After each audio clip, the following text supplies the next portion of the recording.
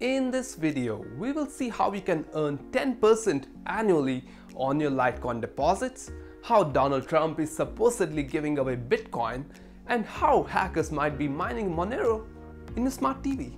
So, let's get started.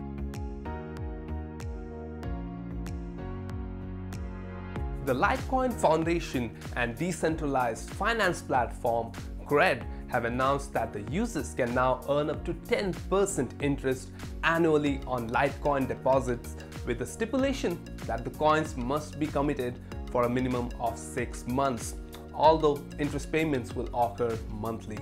Basically, Cred is now offering a Litecoin savings account with interest rates well above the roughly 0.5% to 1.5% of interest paid by the banks in the United States. That being said, Litecoin is quite volatile, so the value of the deposited Litecoin could end up declining, including the interest payments. Essentially, the 10% reward comes with some risk, like pretty much any other investment.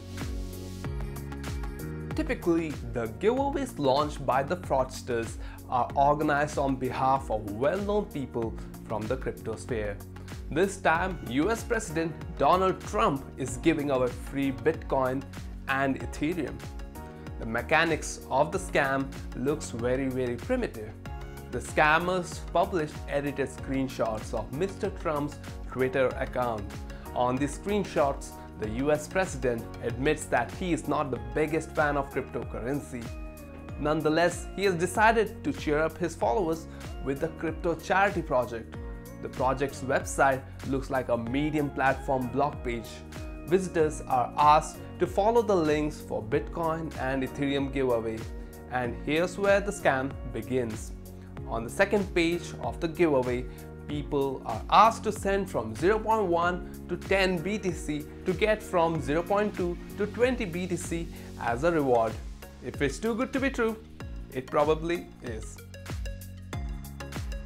A black hat hacking group called Outlaw that runs crypto mining botnets has resurfaced after months of silence. The hacking group, which was first discovered in 2018, has upgraded its botnet, which can now infect Android-based smart TVs and force them to secretly mine for cryptocurrency. The botnet mines for the privacy-based cryptocurrency Monero.